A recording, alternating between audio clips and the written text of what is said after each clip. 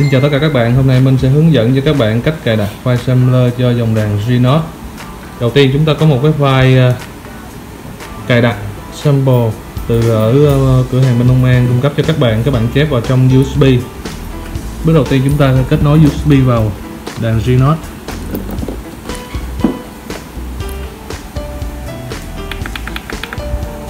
Rồi, bước thứ hai chúng ta chọn vào menu.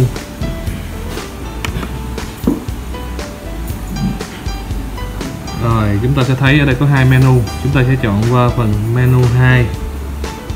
Chúng ta cũng chọn trực tiếp à, trên màn hình luôn.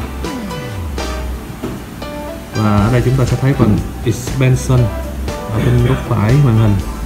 Chúng ta chọn vào nó. Rồi, chúng ta sẽ thấy là có chữ Pack Installation. Chúng ta chọn vào Pack Installation.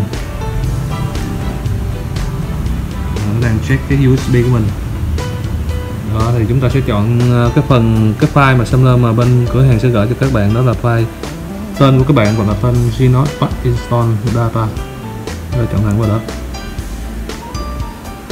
Tiếp tục chúng ta chọn OK. Và chọn OK thêm một lần nữa. Và bây giờ hệ thống đang cài đặt bộ sampler vào trong đèn Genos quá trình diễn ra nó nhanh hay chậm là do cái uh, dung lượng của bộ sampler của mình. Thì dung lượng sampler của Genos thì Yamaha cung cấp cho chúng ta được là 2 GB sampler mà không cần phải gắn một cái uh, cạc mở rộng nào thêm.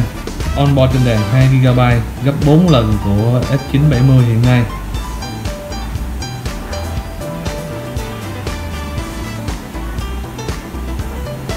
Khi chúng ta cài đặt xong thì uh, hệ thống sẽ báo là sẽ khởi động đèn lại. Các bạn cứ chọn ok thì uh, đèn sẽ khởi động lại và quá trình cài đặt đã hoàn tất xong. Xin cảm ơn các bạn đã theo dõi.